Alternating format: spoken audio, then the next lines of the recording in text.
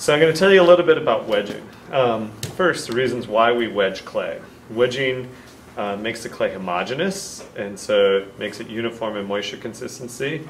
Two, we can use it to get air pockets, uh, things that were folded into it. And three, we can make it prepared to throw. We sort of warm it up. It's like stretching uh, so that we can work with it on the wheel or we can work with it hand building.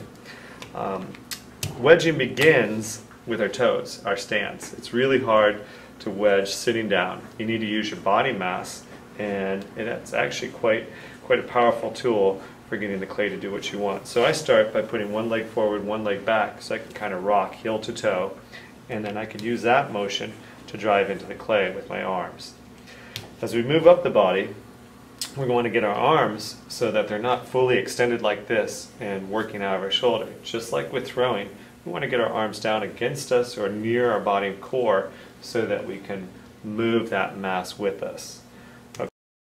Okay, we're going to get a little closer and I'm going to show you the hands. The hands. There's two ways you can use your body mass to work the clay. One is kind of the traditional art teacher way, which I don't like even as an art teacher, and that is kind of the symmetry where we have our hands on either side, we're pushing, and then we roll back. The other is where we create a spiral and we can actually drive our mass more efficiently with one hand and then the other hand backs it up for us.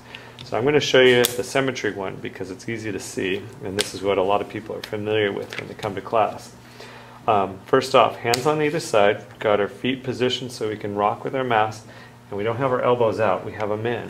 And what I'm going to do is push in and forward, and so it looks like this. Pushing in on the sides, and it should be a fairly narrow width across this way. We don't want it out wide because that means we're folding the clay over on itself. And the shape that we form looks a little bit like a monkey here. It has the ram's head on the side.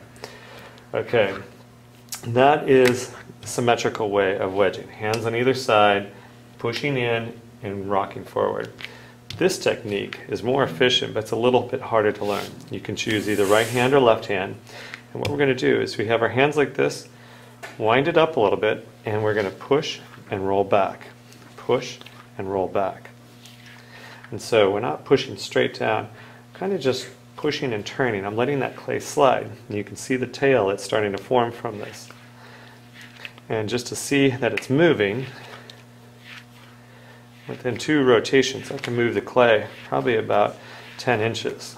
And so it's very efficient, takes much less energy, and I can use my rocking motion, my posture, to help move that clay. The pattern it forms is sort of like the clay itself, the cone shape.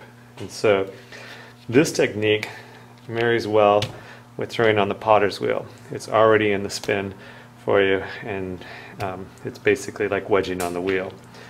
Okay, moving into the next step. Um, as a beginner, a lot of your wedging techniques are going to look something like this probably, pushing forward like you're kneading bread. And what that's doing is folding air in there. Um, you're going to have to try to get that air out the sides. Okay, so as a beginner, you're going to work air into your clay most likely, and so we have a technique for getting that out. It's called tamping, and we can take this and turn the clay into a loaf. I'm tapping it four sides and then compressing the ends and I can even stretch it a little bit and that will open up air pockets if they're in there and then close that off. When I wedge, I usually wedge more clay than I need so that I can take off the pieces that I need for my projects. Let's take a look inside and when we do this we can look and see if there's air pockets. We can stretch it and open up the clay. After that, we can take these corners and tap it into a ball or an egg shape. A couple reasons to work with a round piece of clay. Um, flat pieces of clay with edges, this dries out, okay? So it'll store longer and keep better if it's rounded. Also, when we go to use it, um, a rounded surface when it presses down, it pushes the air out to the sides. A flat surface, when we press it down, that cups air, that sound you hear there, that slapping, it's cupping air on those flat flanges. So after we've wedged it, cut it, tap it into balls, and that'll keep better for hand building as well as wheel work.